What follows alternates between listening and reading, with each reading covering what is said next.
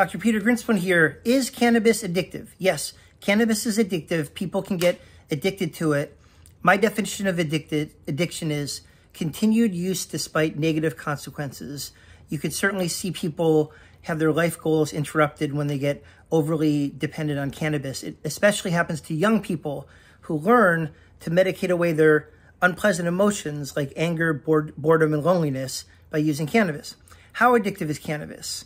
Uh, for your average adult, cannabis is about as addictive as coffee, which is pretty addictive, but not as addictive as tobacco and not as addictive as alcohol.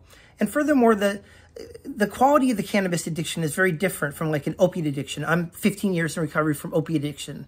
People don't go to such great lengths, you know, such as uh, faking prescriptions and robbing pharmacies to get cannabis when they're addicted to it as they do when they're addicted to opiates. All the same, addiction is addiction, suffering is suffering. And if you find yourself addicted to cannabis, unable to cut down, using more than you want to use, having cravings, find someone who could help you. Hopefully, someone who understands cannabis, who doesn't demonize it, and can treat you with the empathy and compassion that you deserve.